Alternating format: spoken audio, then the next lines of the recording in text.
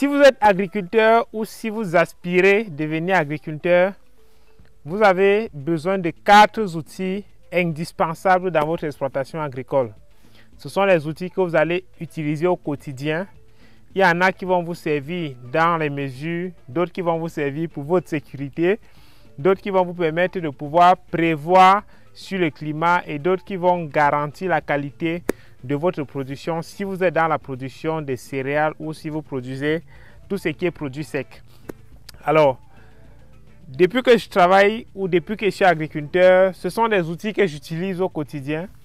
Et justement, ces outils m'ont tellement aidé et continuent de m'aider jusqu'ici. Ça me permet d'avoir une approche beaucoup plus scientifique lorsque je suis dans la réalisation de mon projet. Et cela me permet d'être beaucoup plus efficace. Je prends juste un exemple. Pour ce qui concerne le taux de moisissure des céréales, il y a beaucoup de gens qui testent les céréales en prenant une graine, ils croquent avec la bouche et ils essaient d'estimer. C'est vrai que pour les gens qui sont expérimentés comme nous, si je croque une graine de maïs, en fonction de ce que j'ai dans la main, je peux te donner en moyenne le taux d'humidité. Je peux être à 2, maxi 3 de la normale. Mais lorsque vous voulez travailler de façon professionnelle ou lorsque vous n'êtes pas toujours là, il faut avoir des gens assez, euh, je vais dire quoi, il faut avoir des outils qui permettent de pouvoir donner exactement ce dont vous avez besoin.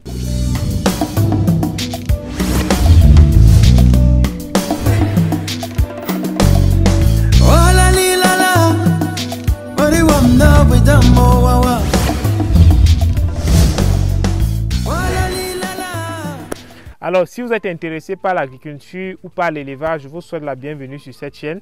Je suis Loïc Kamwa, je suis agriculteur et l'une de mes passions, en dehors de pratiquer ce que je fais, c'est de partager avec vous les différentes expériences, les hauts et les bas, pour que vous capitalisiez sur les erreurs que j'ai commises, que nous avons commis, pour pouvoir moins échouer dans vos différents projets et garantir le succès à un certain niveau. Donc, si vous êtes intéressé par cette thématique, la première chose à faire, c'est de vous abonner. Et la deuxième chose à faire, activer le bouton de notification. Et à la fin, si vous êtes content, vraiment partager. C'est l'un des premiers moyens de soutenir la chaîne. Alors, sans toutefois tarder, le tout premier outil que vous devez avoir, c'est un GPS. Donc, ça, c'est un outil que j'ai, ça fait pratiquement 4 ans. Pour ceux qui veulent acquérir les terrains agricoles, généralement, c'est un outil que vous devez utiliser pour mesurer vos différents espaces. Parce que vous allez aller dans un village, on va par exemple vous dire, euh, les villageois vont vous dire, ou la famille qui vend, qu'on a 50 hectares, on a 100 hectares. Avant de verser votre argent, il faut au préalable que vous ayez une idée de est-ce que les 20, 30 ou 50 hectares qu'ils me disent qu'ils ont, ils ont réellement. Donc cet outil-ci est indispensable.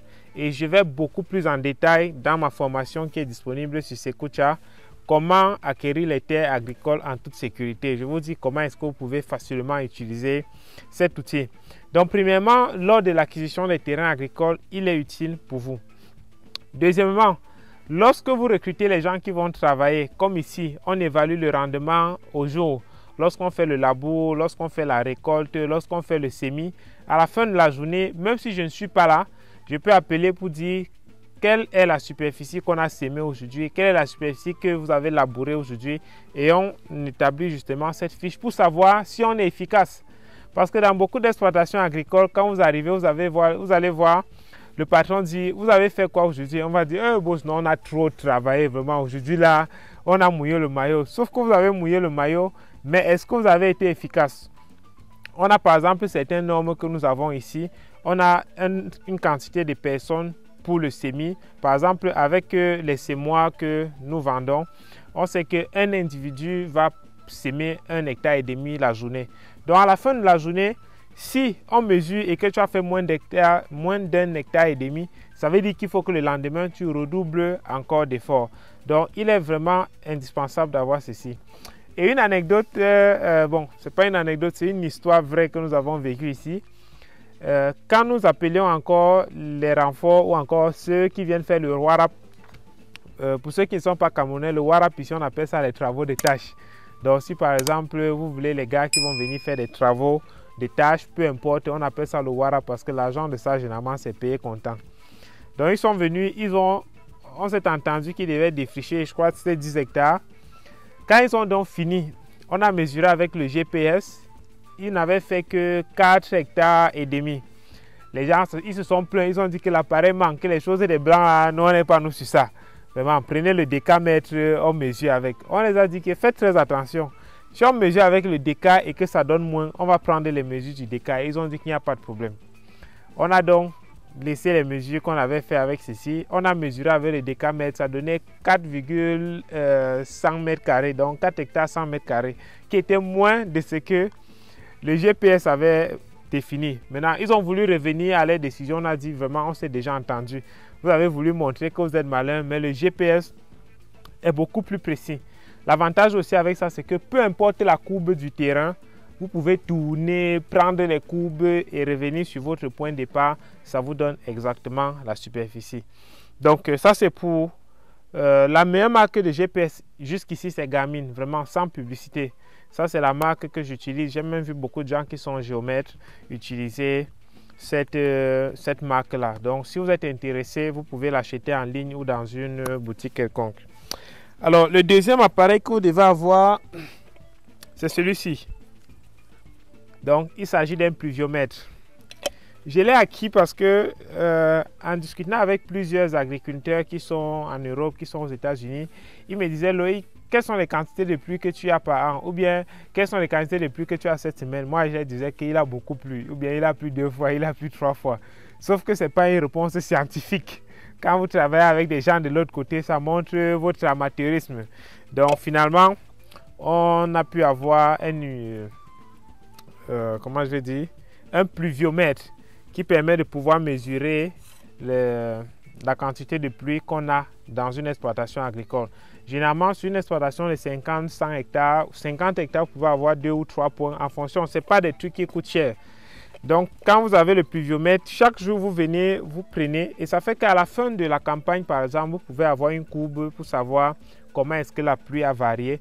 Et sur plusieurs années, vous pouvez, de façon scientifique, dire que en mars, il va pleuvoir parce qu'il pleut généralement en mars ou encore peut-être en début avril, on aura un décalage de pluie parce que vous avez observé sur deux ou trois années euh, le décalage de pluie en mi-mars. Donc ça permet vraiment que vous ayez une approche scientifique. Et étant dans les pays africains où la plupart de nos États ne parviennent pas à nous fournir des données météo fiables, il est important que chaque agriculteur dans son exploitation puisse lui-même se charger de prélever ces données météo parce que en 5 ans d'activité, il faut que vous soyez capable de dire je sème à telle période parce que j'ai l'habitude de. Donc, jusque si on veut attendre ce que le gouvernement fait vraiment, on n'est pas sûr qu'on aura toujours les bonnes informations au bon moment. Et ce qui me fait rire, c'est que je suis allé une fois dans la ville de Bafia, ici au niveau de la station météo. Euh, ça n'avait pas l'air d'une maison où les gens habitaient. Donc, je suis sûr que c'est le cas dans plusieurs.